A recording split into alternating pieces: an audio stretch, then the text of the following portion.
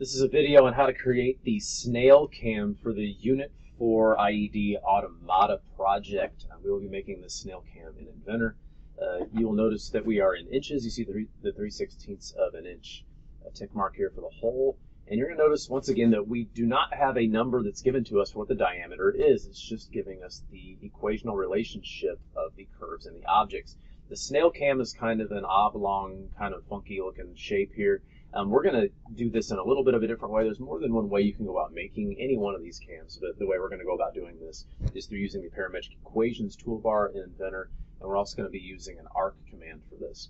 So uh, we're going to go ahead and start. So we're going to go to Inventor, and we're going to go to File, and we're going to go to New. And again, we're in inches. Make sure we're in the English template, and we're going to make sure that we're in standard IPT for Inventor part, and we are going to say Create.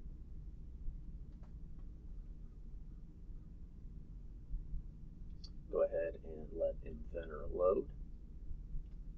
And as we go back, you'll notice that we have the origin right here, which is where our hole is going to be.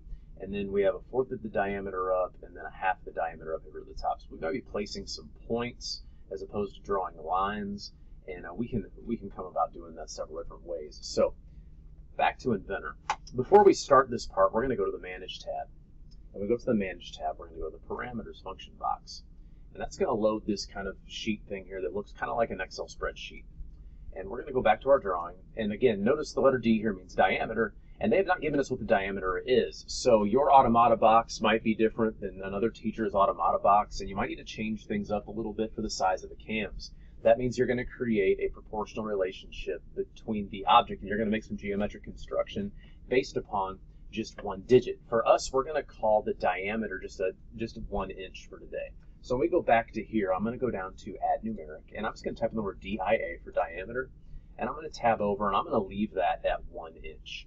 That's how we're going to say what the diameter is. We'll come back later, and we'll take a look at how to change that.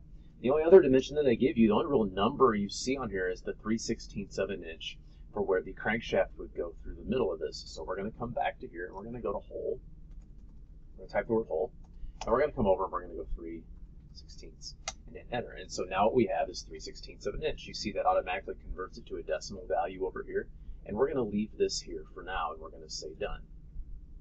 We're going to go up to our sketch tab. We're going to grab our 2D sketch pencil, and I want to click on the XY plane. We have our origin right here.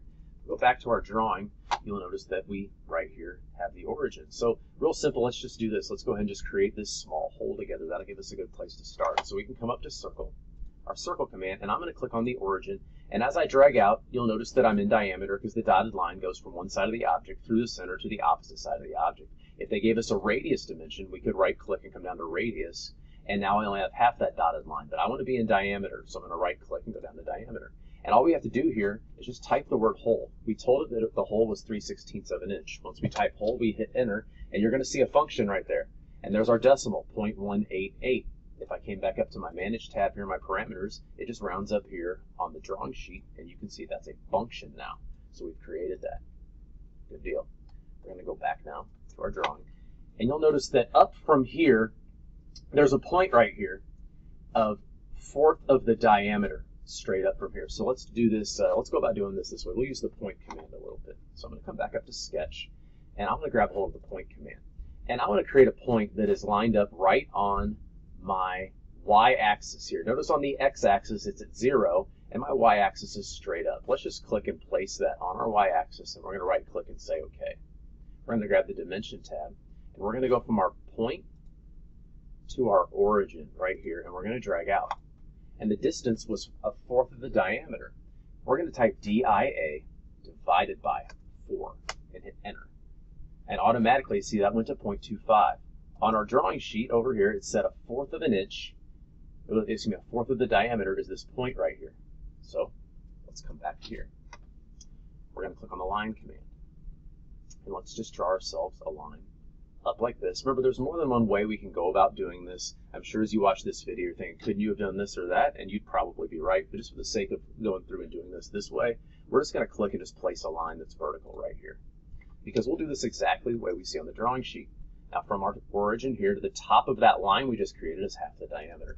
So we're going to come back to here. Dimension, origin, top of the line, drag over, and we're half the diameter, DIA divided by 2. Now, one cool thing before I hit enter we could do is we could always backspace and go times 0.5 as well. Same thing. This allows you to get kind of a percentage value. So if it was 37% of the diameter, we could say times 0.37, and we'd have the same thing. And now we hit enter, and look at what we have. We have a function of 0.5, which is half the diameter, and we have 0.25, which is a quarter of the diameter. Works out really, really well. Now we're going to come back to our drawing. So half the diameter is here to here. Now we could create, this looks kind of like a funky shape here, but we're going to go ahead and call this a half of a circle. We're just going to basically take a half of a circle and we'll be trimming some things off this way. This is how we'll go about creating this. So we're going to go to our circle command and click on our origin. And to make this easy, we're just going to snap this right up here to the top. And I'm going to right click and I'm going to say OK. Now we only want to keep half of this circle. We only want to keep half.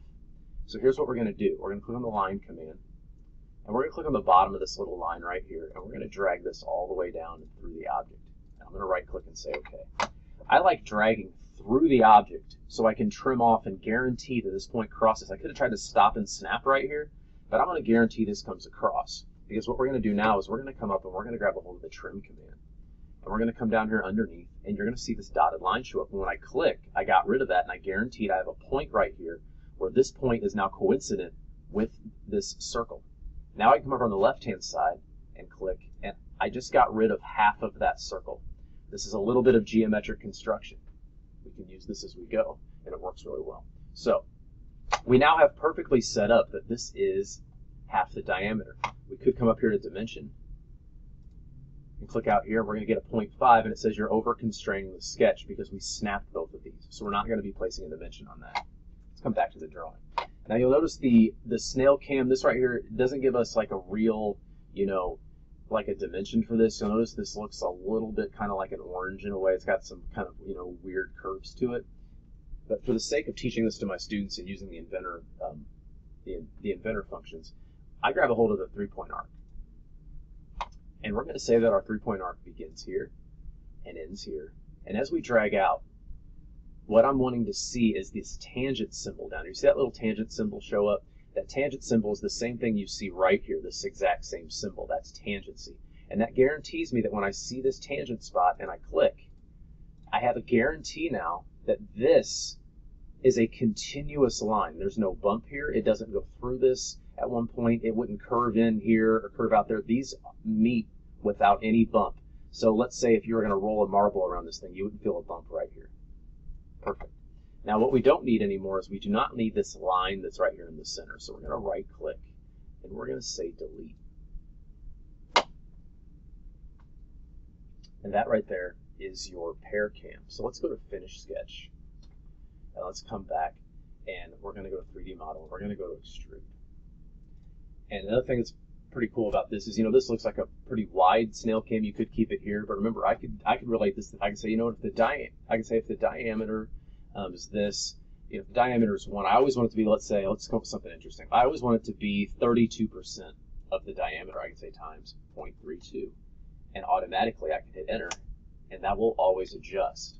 So look, if I go back to the Manage tab and I go to Parameters, I say, you know, the diameter, uh, let's make it 1.5. Our diameter is too small it adjusts. Now, here's the thing that's weird about the pear cam, though, is that you have to go back each time and kind of change your geometric construction with this.